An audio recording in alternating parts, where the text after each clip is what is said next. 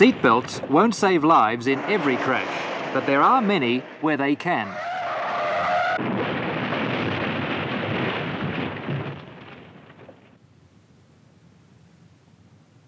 We now know a lot about what happens to unrestrained human bodies in car smashes. These slow motion pictures show what can happen to children.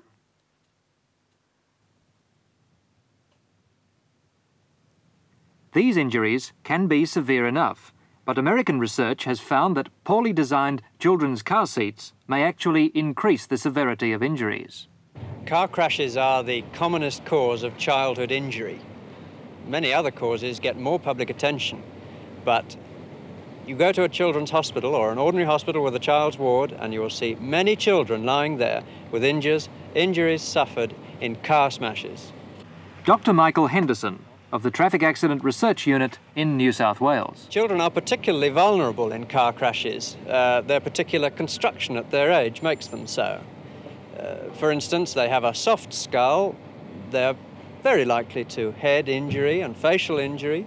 Uh, they often fly upwards in a crash, hit the roof uh, with tremendous force, uh, and their incidence of head injury is extremely high. Are there many devices for accommodating children in cars on sale in Australia today that you would say are unsafe? There are devices offered, certainly, for seating children in cars which are unsafe, yes. Just how safe are the car seats offered for sale in Australia for children? For puzzled parents, there's a bewildering array to choose from. Shops still stock the cheaper seats because this is all some people say they can afford. The words safe, protective and padded often appear in the brochures. This seat is designed to fit bucket or bench type seats. It features a so-called unique safety stay for use as a nursery or picnic chair. This little car seat featured a steering wheel and squeaker horn. The manufacturer claims this seat's plastic-covered brackets protect the car's upholstery, it doesn't claim to protect the child. Occasionally, a manufacturer will be quite dogmatic about his product. Just how safe is it to rely on the safety claims made in advertising brochures? We took a random sampling of children's car seats currently on the market to the Traffic Accident Research Unit in Sydney. For years, this was the most widely used type of child's car seat in Australia. But how safe is it? Dr. Michael Henderson. From the safety point of view, it offers nothing. It, it's it, a cheap uh, gadget offered for the comfort and convenience of a child, but it adds nothing to its safety, and because it raises the child up into a dangerous sort of area, it might in fact add to danger.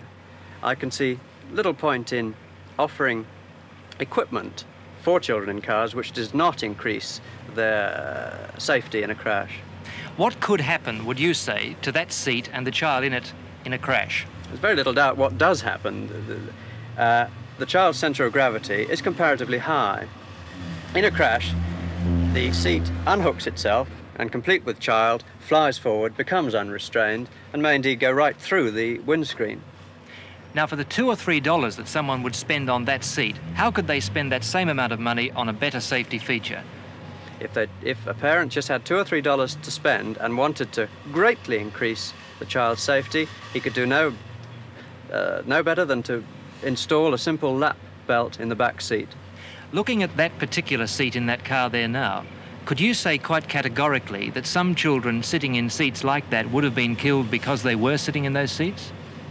I'm sure there must have been instances of this, yes.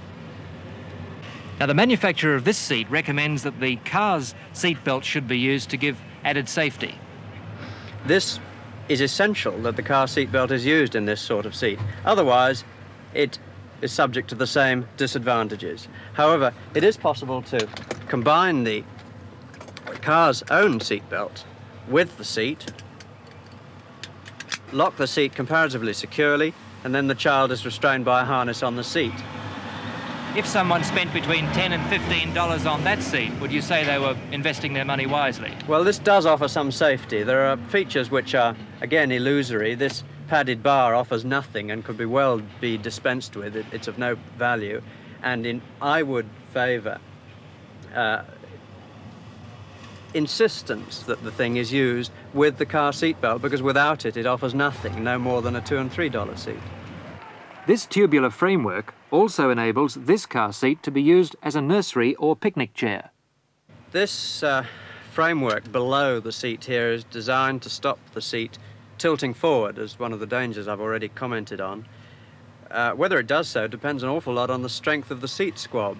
In addition, a feature I don't like at all is that the seat itself depends for its integrity on being fastened to the seat squab by a simple piece of nylon webbing. It's not attached to the car.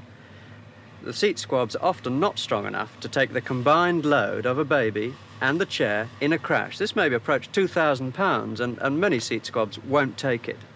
This seat would be safer if combined, as before, with the car's own restraint system.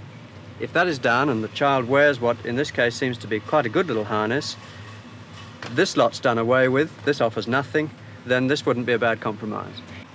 This car seat retails at $21. The name Safe is in the trade name, and the manufacturer claims that it will pass the Australian standard when it's introduced. The manufacturer says it has a very high degree of safety in operation.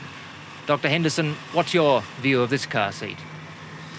I think this seat would provide considerable protection for a child in a crash.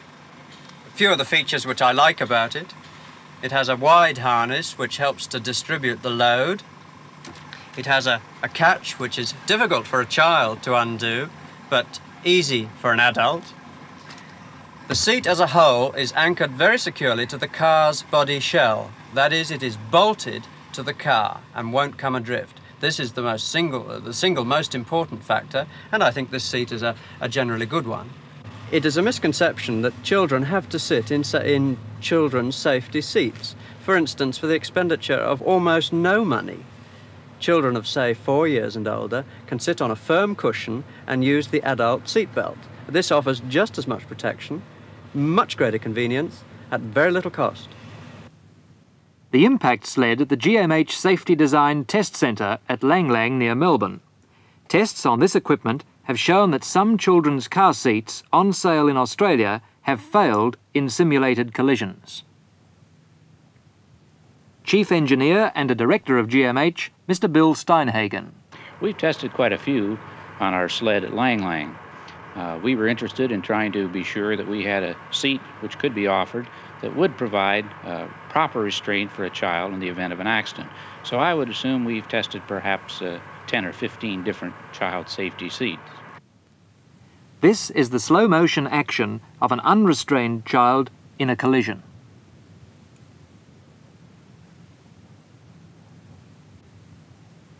GMH has not released the films of tests on other manufacturers' products, but we've been assured by GMH that it will make the results of its tests available to individual manufacturers if they seek them after this program. Included in those tests were children's car seats that hook on over the back of the front seat. What did some of the tests show? Now, every seat we've tested which does not provide restraint to the actual car structure has been very ineffective in terms of an accident. For instance, the type of seat you just mentioned, the ones that hook on over the back of the front seat. We find that invariably these come loose, the child will slide forward and actually probably suffer more injury than they would if they were unrestrained. Anytime that you put a seat in where you utilize only the car seat, you will find that this never is satisfactory because our seats weren't designed for this type of application.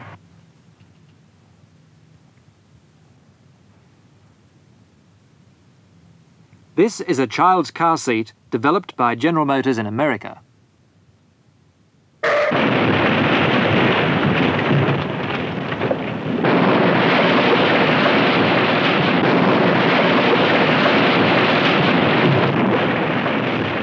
These intersection collision tests at the University of California examined the problem of how best to restrain children against the effects of collision forces.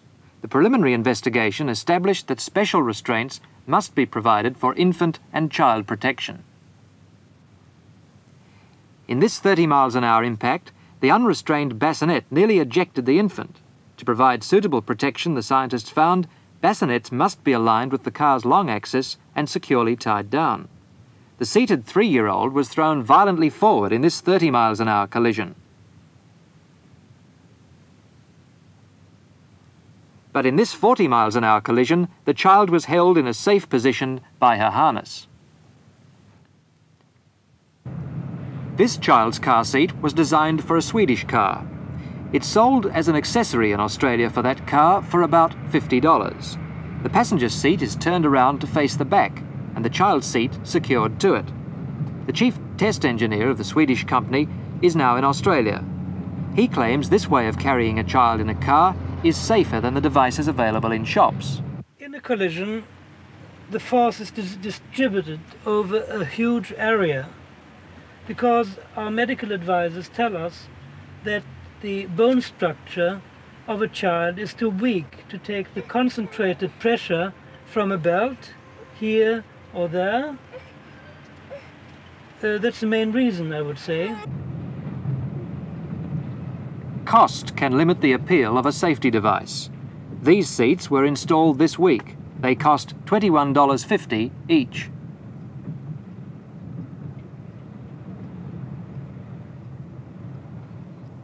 The manufacturer of these seats is satisfied they'll meet the requirements of the Standards Association of Australia. But the real test would be to subject them to a simulated collision with a dummy instead of a baby. This is a car hammock and the trade name includes the words safe and baby. The instructions that come with it say you can carry your most precious possession, your baby, in complete safety and comfort in your car. Uh, this new car hammock is a revolutionary departure from all previous methods of baby transport. So simple, yet so effective. Well, Dr. Henderson, what's your version? I'm afraid I don't like it at all. Let's just take a, a simple example of, of a frontal crash at, let's say, 20 miles an hour, a slow speed urban impact. Baby, cradle and all, swing up forwards. Nothing's going to stop the baby hitting the roof at 20 miles an hour. Now, Children are very susceptible to head injury. They've got soft skulls, and the commonest part of the car for them to suffer injury against is the roof. This, this to me, offers no protection whatsoever. However, there is a way of, of offering a baby of this sort of age quite considerable protection, and that is to put them on the back seat in a carry cot, a bassinet, which is preferably covered with a net of this sort, which are available, and then restrain the bassinet by the car's own lap straps. This offers quite good protection for babies up to six or eight months of age. Much better than this. This pamphlet claims that in a collision, sudden braking, or any other emergency, a baby is protected against all shock. The manufacturer is hopeful that the Australian standard will be reviewed to accept this device. Now, you've read that pamphlet. What do you think of the safety of that car hammock put on a Holden motor car? Without testing this, of course, I'm only giving you my subjective opinion, but what I see of this pamphlet indicates that the hammock is restrained by the gutters on the outside of the vehicle. Now, these gutters were designed to carry water away. They were never designed to withstand the loads which a child in that hammock could induce on these gutters in the event of a severe accident.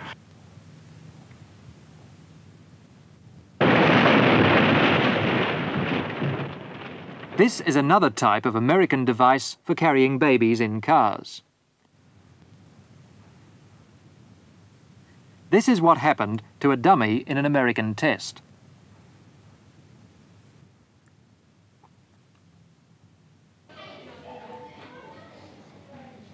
A similar thing happened to this little boy on Wednesday night in Sydney. Brett is 19 months old. He was unrestrained in the car, but his injuries might have been worse had he been sitting in some types of safety seats that hook over the front seat. Children offer a particular problem, that is that they grow, and when the, the, the smaller they are, the faster they're growing. So one has to look at this problem in, I think, four stages. The first is the babe, the baby in arms. Probably the best compromise, as they're not interested in looking out of the car, is to put them in a bassinet on the back seat, anchor the bassinet and cover it with a net, some of which are commercially available. The next stage, the, the toddler, best put then in perhaps in a harness which is worn before the child leaves the house. And then this harness itself uh, is fitted to a strap bolted to the car. Next stage, up to the age of four, five, six perhaps, one of the better types of car safety seat uh, which we've discussed today. After that age, it is best that they are rapidly accustomed to the use of the restraint system which is fitted into the car for the use of uh, adults. For several years now, motoring journals have been warning motorists in Australia not to buy some of the more dangerous types of car seats for children. So one notes the carelessness, or is it cynicism, of manufacturers who go on making them and of the shops that go on selling them. This morning I suggested to one manufacturer that he take his product off the market until it could be proved scientifically whether it actually fulfills the sweeping claims that he makes for it. He said he wouldn't because he couldn't afford to. Yet three recognised authorities on car safety have said that they won't accept that manufacturer's claims about his device until they see them proved scientifically.